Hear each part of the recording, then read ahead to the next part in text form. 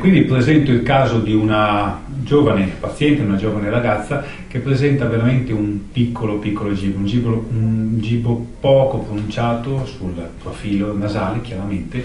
eh, reso più evidente da una lieve depressione a livello della radice nasale e da una lieve depressione dell'area suprativ, cioè l'area che nel profilo è immediatamente al di sopra della punta nasale. Eh, la paziente si è rivolta da me per effettuare una rinoplastica con l'idea di limare il gibo, quando invece eh, le due depressioni potevano essere sfruttate per essere eh, colmate con un filler, quindi un'infiltrazione di, di acido ialuronico e ottenere un profilo rettilineo.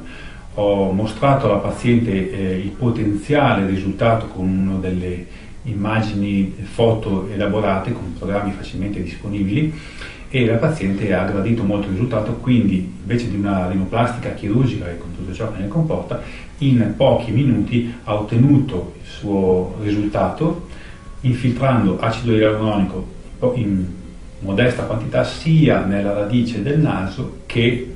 nell'area supratip, cioè nell'area che sta tra il gibo e la punta trattamento ambulatoriale di pochi minuti e come vedete nelle foto post-operatorie risultato immediatamente percepibile e apprezzabile. L'arrossamento che vedete nelle foto è connaturato al trattamento, ha generalmente una durata di poche ore e poi scompare. Questo tipo di trattamento effettuato con acido ialuronico ha una durata di 6 mesi ed è ripetibile.